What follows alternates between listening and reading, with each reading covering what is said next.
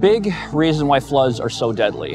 And according to the United Nations International Flood Initiative, there's about half a billion people every year affected by them, about 25,000 who are killed by them. Warning is a very crucial component to saving lives and saving property. If you don't know what's happening, it hits you, and by the time you see it coming, it's too late to do anything about it. And a lot of flood disasters happen because either precip moves in from offshore where no one knows that this horrific heavy rain event is coming, or you get heavy rain in some remote area that's very mountainous and the landslides and flash floods come down. And again, no one knows that it's coming. But the whole point is that we need, uh, we have radar information in places like the United States. We've got this multi billion dollar radar network. We've got rain gauges in a lot of developing nations. But a lot of countries don't have the economic wherewithal to make those kinds of investments. There's a lot of other things that have to take precedence, and for good reasons.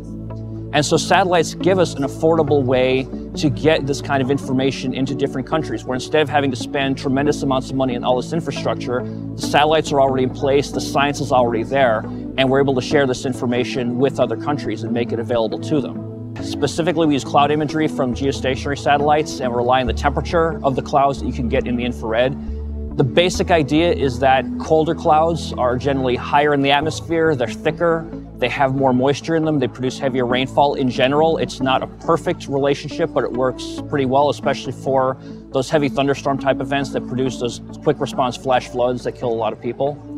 It's only been the last few years that we've been interacting with, with um, weather, weather forecasters in Central America, in Southern Africa, in the Mekong Delta, in Pakistan, in Haiti, and we're getting information from a whole bunch of different places where we just never knew before how good our estimates are.